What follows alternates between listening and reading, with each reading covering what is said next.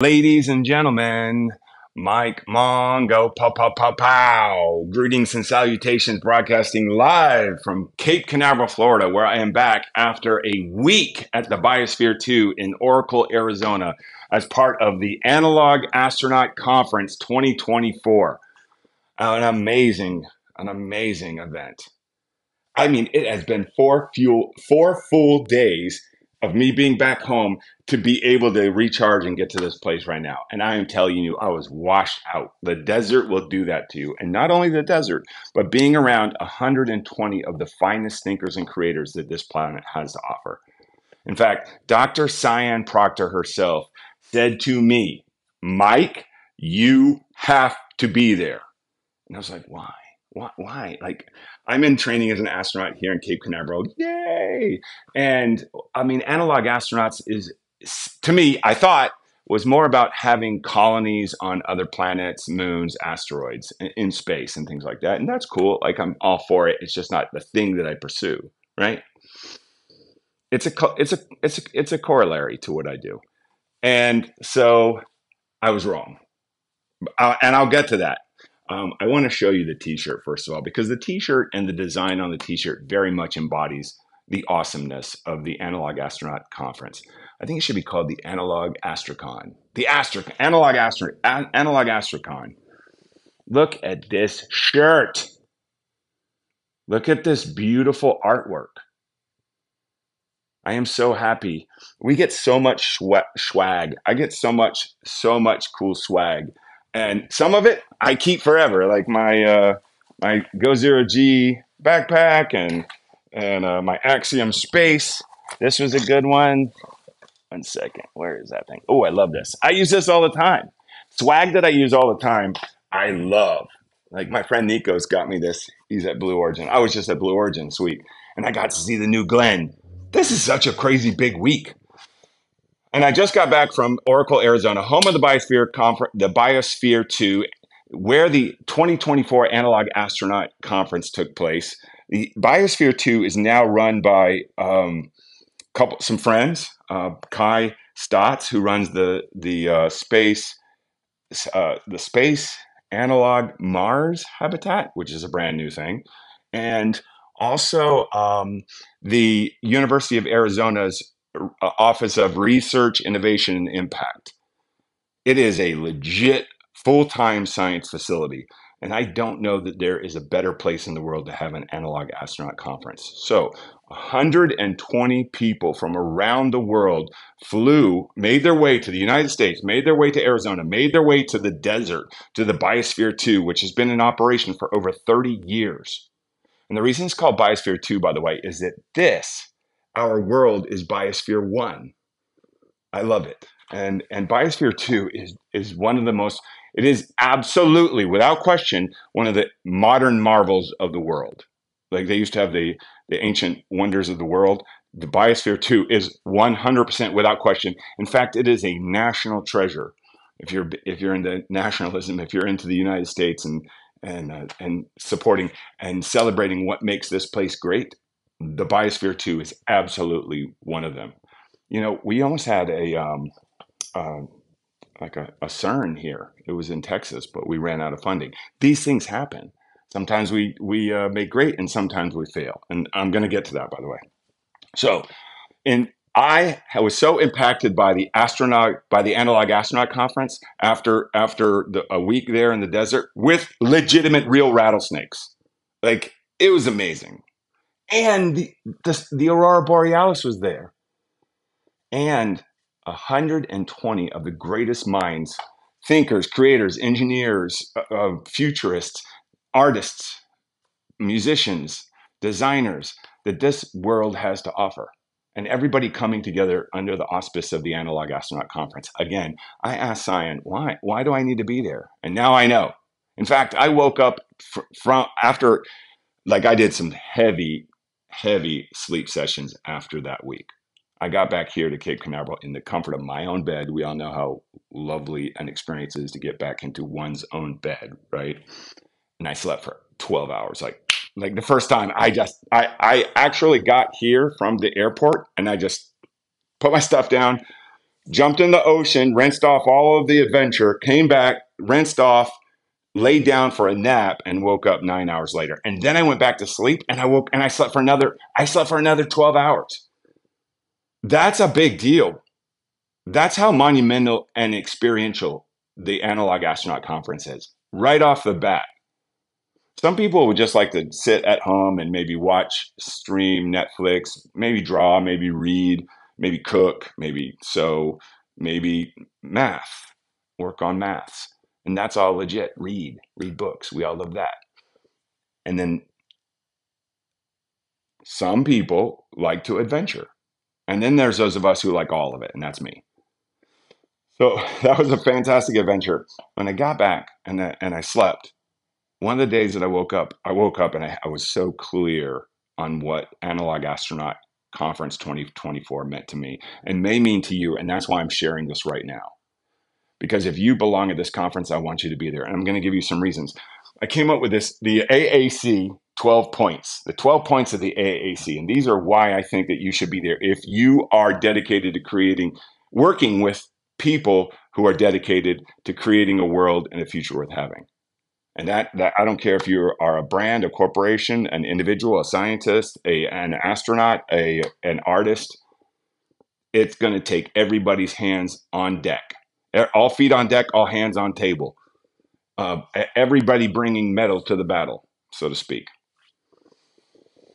Put your metal on the table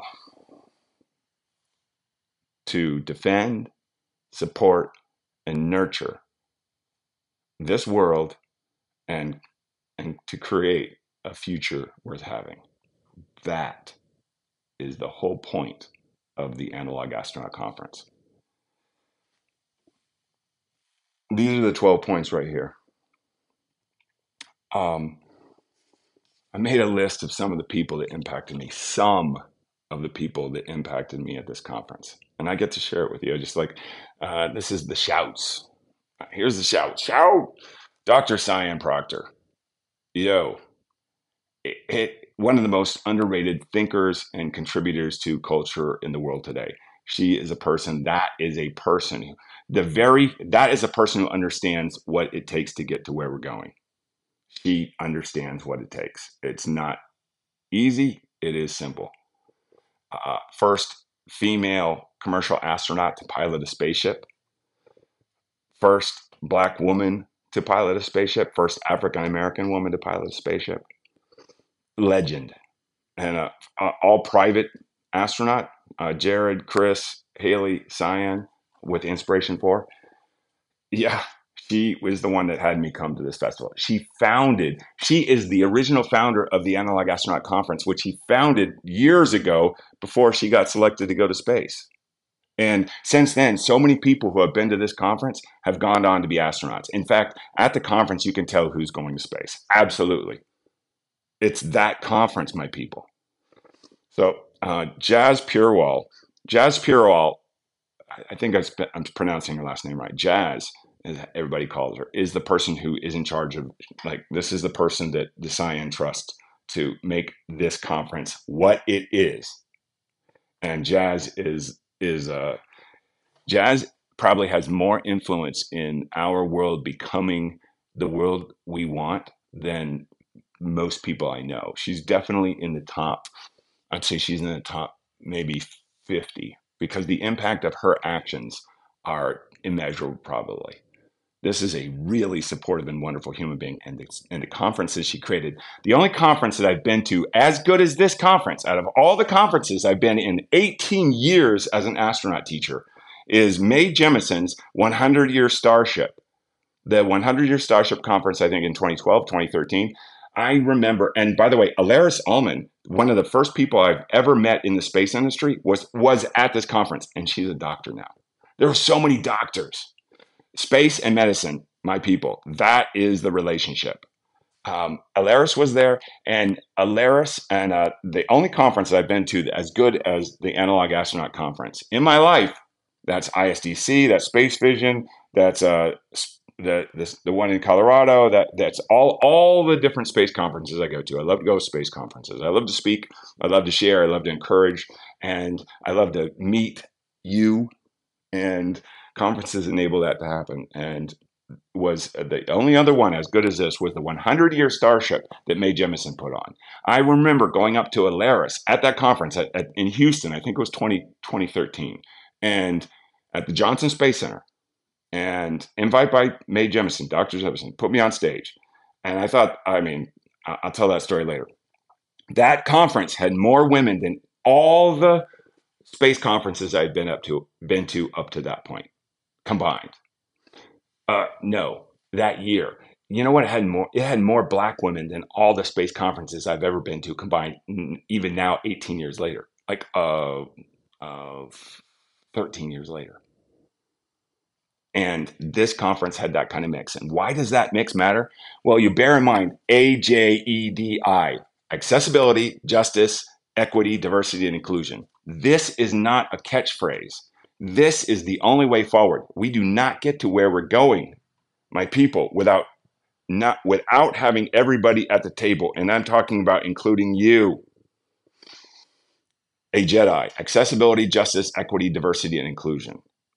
And 100 Year Starship had that, and Analog Astronaut Conference 2024 absolutely had that. Jazz and Sian are to are, get to uh, receive the credit for that for sure. Plus, uh, Brandy Nunez is somebody who was there and and played a big role in this.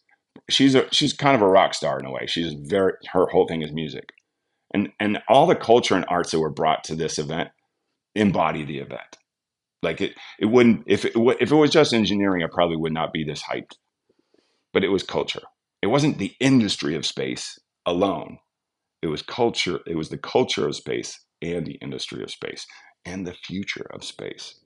Like I work with Icarus Interstellar, and we talk about interstellar space, nonprofit, space, interstellar, space science, research, hypothetical kinds of maths. And that's great and fun and a hobby, and it doesn't have much practicality. However, the applications of the discussions and science and work that was being done at the Analog Astronaut Conference, it impacts us all. And I'll, I'll get into that. Um, I, I, just keep going, right? Ethan Atwell. Uh, I, if I wrote your name down on here, I, I, can't. I remember. I can see what Ethan looks like, and uh, these are these are people that made an impact on me. Mark Wagner is one of the biggest proponents of space education, STEAM, science, technology, engineering, arts, and mathematics. Mark Wagner, I trust him. He's a good one. Mason Robbins, another person I trust. Dr. Mason Robbins worked with me to develop Astronaut Job Camp in his second year at the SaxaVord Spaceport, and now is working in the United States doing fantastic things. I think he might be traveling back to the UK, and he was there, and he he's in the video. Oh yeah, I got more. Uh, Kai Staats. Kai I met through Trent Tresch, who I met as a crew member of Space Plus Five with Uplift Aerospace. He was one of the five selected. Uh, me, Trent, Ruben Kincaid, who's about to fly, Joan Melendez Meisner, who will fly in the future, and Cindy Hamilton, who will fly in the future. That's Space Plus Five. And Trent was there. And Trent is, is the director of the University of Arizona Center for Human Astronautic Space Exploration, CHASE. And he's great. Kai was there. Kai runs SAM, the Space Analog Mars, Space Analog Mars, something like that. And it is about uh, a Mars or Moon analog. It's primarily Mars that we can do robotics and trainings and and even they have they have a, a, a pulley system set up so we can experience zero g the the weight of uh, the gravity of Mars while we're training in their um, enormous Mars habitat uh, at the SAM, the, the uh, Biosphere 2 SAM. Uh, Sarah Calmetta, Sarah the Pivoter, a broadcaster, artist, and uh, ba- basically a lightning lightning rod. Some of these people, when we're around them, we know we're in the right place because they're the kind of people that are in the right place at the right time, doing the right thing with the right people. And that's that's the opportunity. The reason I'm going over this, by the way, is I'm going to get to that. It's you, um, John Reed, the author, one of the most successful children's space book authors in the world. His books become text de facto textbooks and and he writes other stuff now. Like he's he's writing novels and doing that stuff. We got to discuss William Gibson and and Neal Stephenson and uh, uh, Cixin uh, Zhu, the the author of uh, Three Body Problem, a gr- already a good friend, and his son Isaac Reed plays big into it too because Isaac, age ten, was there. There's kids there, my people. That says everything that I need to know. Because without kids in space and STEAM, humanity is not present. Facts. Without students, young students, humanity is not present. We imagine humankind to be just like all adult activity.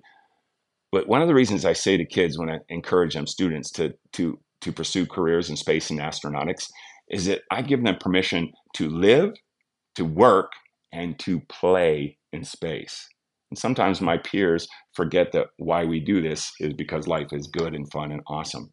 And sometimes the stuff that we're doing is so awesome that it is play, even though it's hard work. And I like that.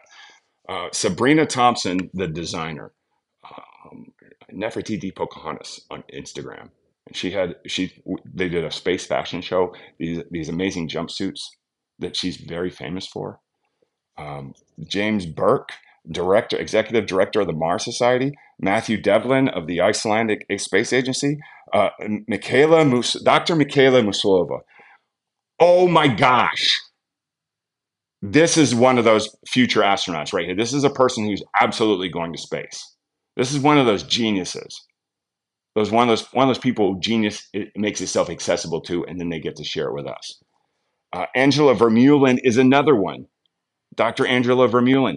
Angelo and Sian were on the very first crew of the NASA HI-SEAS Analog Astronaut Facility after uh, Sian and Angelo, I think, but Sian definitely tried out for the NASA for the NASA uh, astronaut class of 2009. Though she didn't make that, she made it in the top 16, I think. They invited her to be part of HI-SEAS, and she was on the first crew with Angelo. And Angelo's work is about developing uh, livable habitats off world and he he showed these work and he and he explains he explains in a way that all of us can understand the medical impact of, of us living in space not the least of which um, shonda paya was there uh, her name's actually coming out right uh, Sean, uh, Sean Shawna Shawna Pandya, Pandya. Shawna is amazing. Yo, look at me all hyped still. This is what four nights of sleep will get me. This conference is amazing. It's one of a kind well, 100 Year Starship in 2013. But there's a this is a conference that we can all attend. Well, 120 of us. First come, first serve. Morgan Kainu, Tim Griepentrog, love that name. Brenda Trini, a lot of these people, Terry Trevino, I met through Loretta Whiteside Spacekind.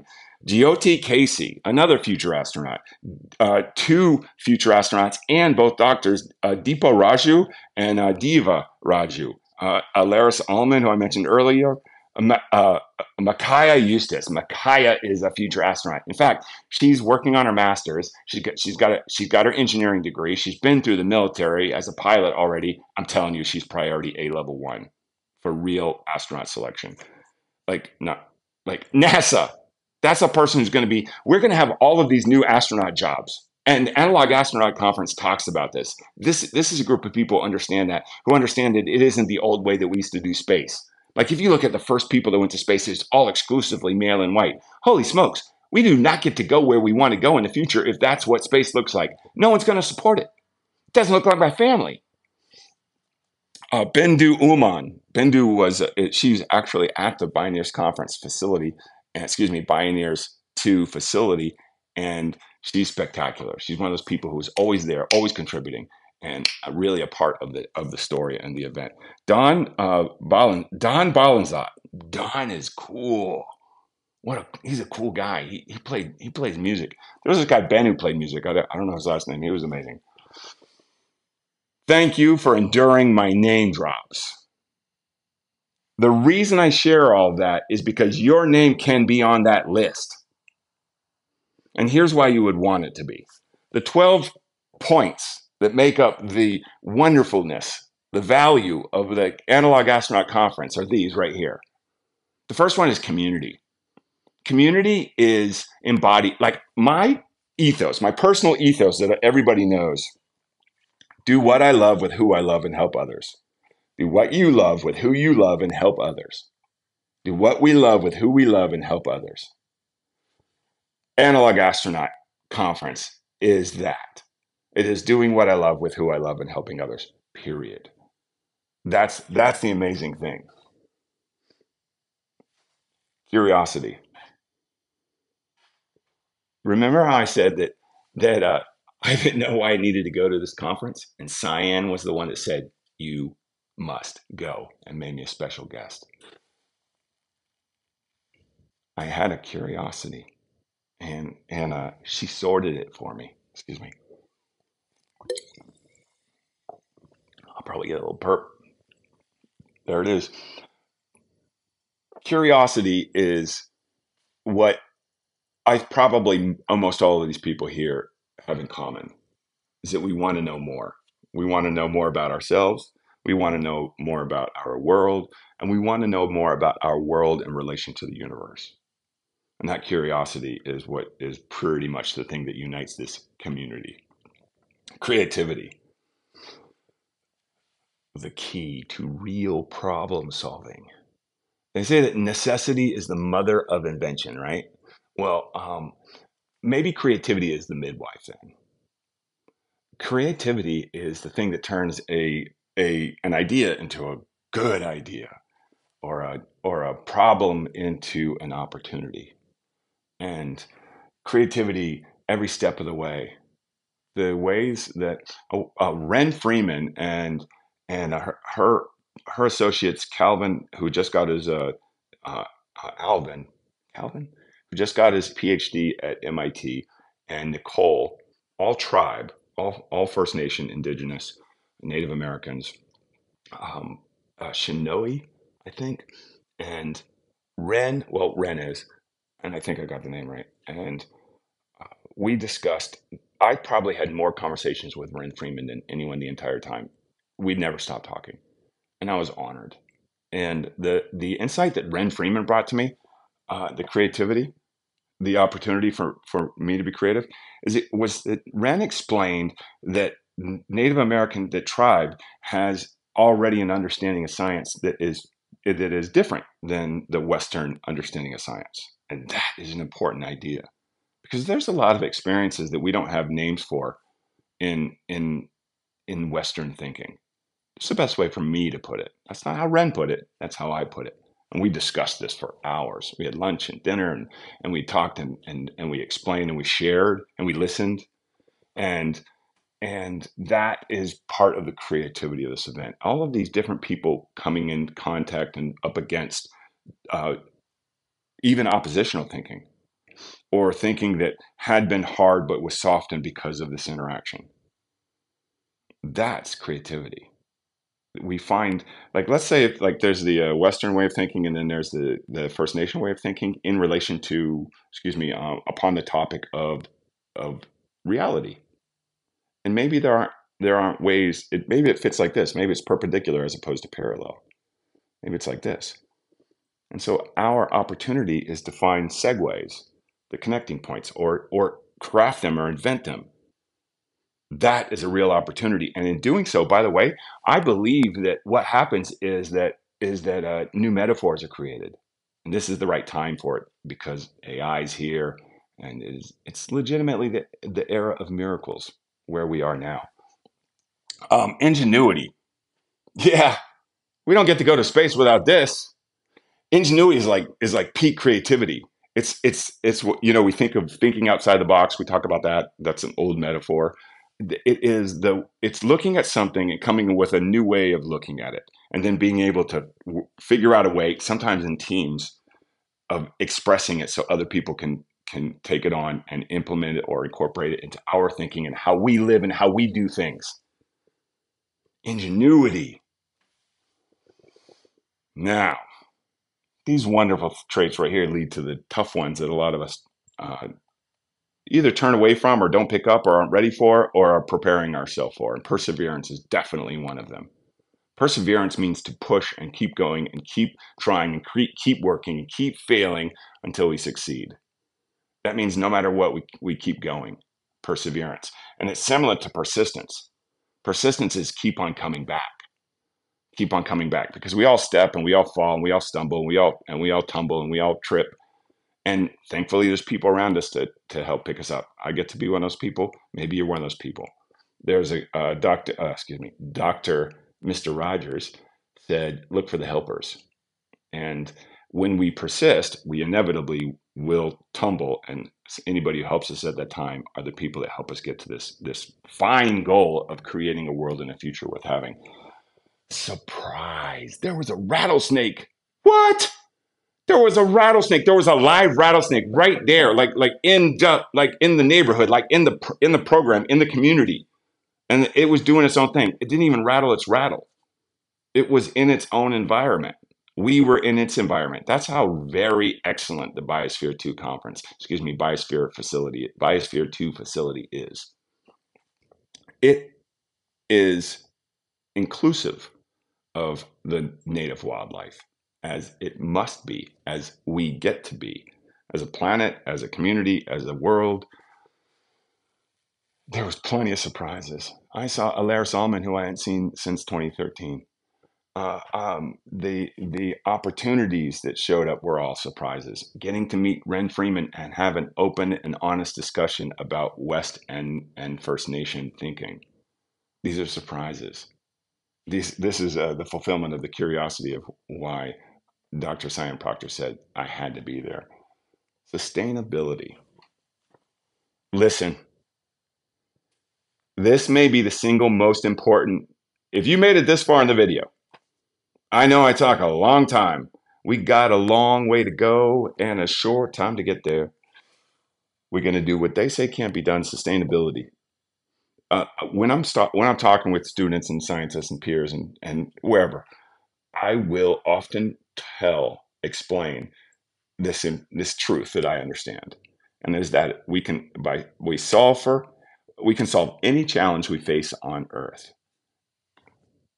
Energy, health, sustainability, the illusion of scarcity by solving for space. We can solve any challenge we face on Earth, sustainability, by solving for space. Because in space, it, it's not sustainability is not an option. Like war is an option. We don't need war. It's an option. We choose it. It's like there's so many other ways to solve conflict besides war. It's an option. We don't have to choose it. It's an option. It's not an obligation. No circumstances an obligation. These are the kind of thinking and ideas that take place in events like this. Uh, my friend Story Musgrave pulled me aside at the Space Vision conference in 2015 at the University of North Carolina. Pulled me aside. This is the person who repaired the Hubble telescope, this commanding a space shuttle up at the International Space Station using the Canadarm.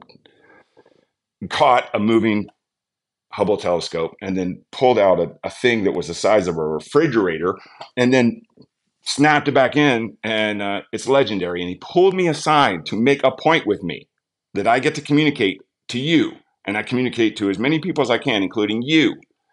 90% of success is showing up.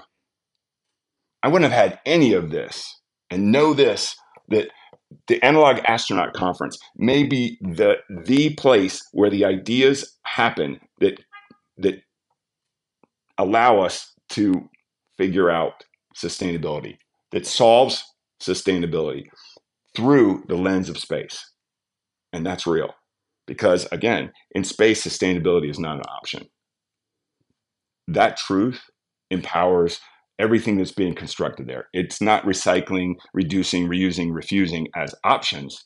They are intrinsic to, to any living, as they can be, as they should be, instead of just throwing everything away. Adversity in the desert, getting there, just getting there is work. Uh, there, there is time and expenses. That's offsite. Getting there and being there and being present and then facing the challenges that are posed, making sure that everybody's voice is heard. These are adverse, these are real, genuine adversities. We all have adversities. We get to come together and discuss them, listen to other people's adversities, take it on, sympathize, empathize, share our own, find a meeting, a middle ground, find a place where we share commonalities, and then solve for them. And that these adversities often lead to this creativity look they're right across from each other. Tenacity tenacity is sinking our teeth into something and not letting go. Like it doesn't care. It doesn't matter. Like I, I've seen dogs that'll bite on a big branch and you can swing them around and they will not let go. That's tenacious. I have a friend, uh, Holly Shea, and she taught me about tenacity. She defeated cancer. I mean, she went at it tenaciously with a with it. She was irrefutable to cancer. I think she's done it a, a couple of times, and now she's like a full grown up and just crushing it. She's got a beautiful son, Elliot Shea, musician, great thinker, good hearted, and it was because she had the tenacity to defeat cancer when she was younger. Uh, Hayley Arceneaux, uh, she's one of the people. She's the first person to go to space with a with a partial prosthetic, and she's one of the people that had the tenacity as a child to do that, which led to the tenacity that took for her to get to space. There were challenges. She's climbing up a mountain. Remember that if you saw the Contact uh, miniseries um, on on uh, in Netflix, the Inspiration4 Netflix, Inspiration4 miniseries, tenacity, failure. Failure is a is a word that brings a heavy cloud when we're thinking and talking, even like emotionally, failure.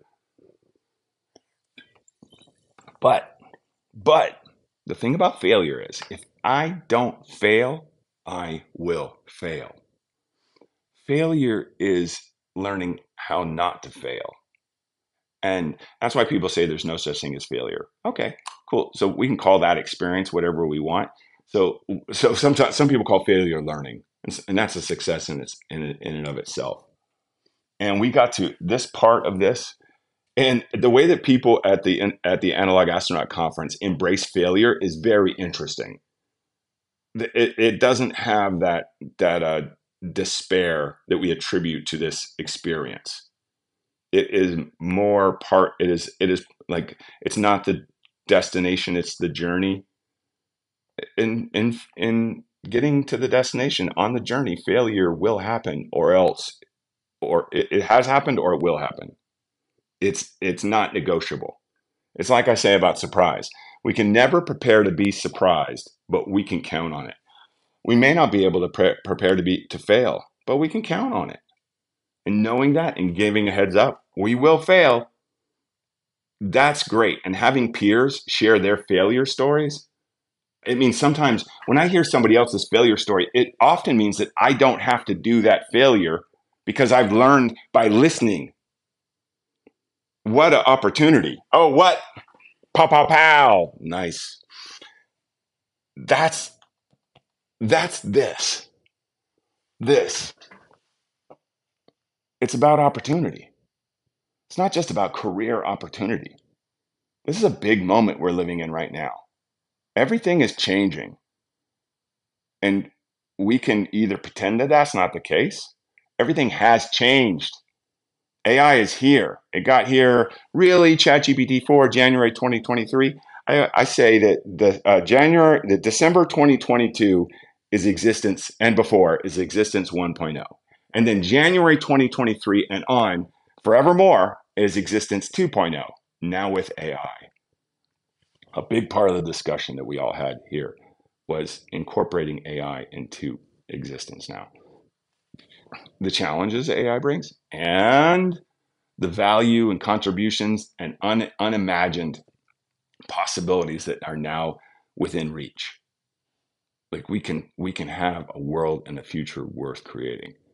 That idea alone, an idea that I share with people that that gets people challenged is this. Imagine a world where everything works out for everyone all the time without harm to anyone. Imagine a world where everything works out all the time without harm to anyone. Imagine a world where everything works out all the time for everyone without harm to anyone. Imagine a world where everything works out all the time for everyone without harm to anyone. Would that world have clean water, good food, medical, education, shelter, vocational opportunities, opportunities for personal growth. That's the world I imagined. And when I talk about everything working out for everyone all the time without harm to anyone, I'm often challenged with this. That's impossible.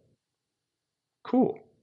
If we don't give consideration to ideas that we think are, are impossible, then we would have never got to space. This device that I'm recording this with, the iPhone, the GPS, of course, space. But did you know the glass is also from innovations that we got from space? Did you know that the solid state circuitry came from microcircuitry, which we got in solving for space? The camera, camera lenses, we got digital camera lenses. Lenses. That's what we got that from the industry and culture of space. Rechargeable batteries, my people.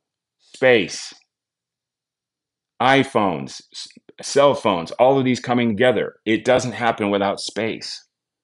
And now we have AI with all the insight we get from space. Combine the two, and we will solve the challenges we face on Earth as long as we're willing to step back away from the stuff that we've already done.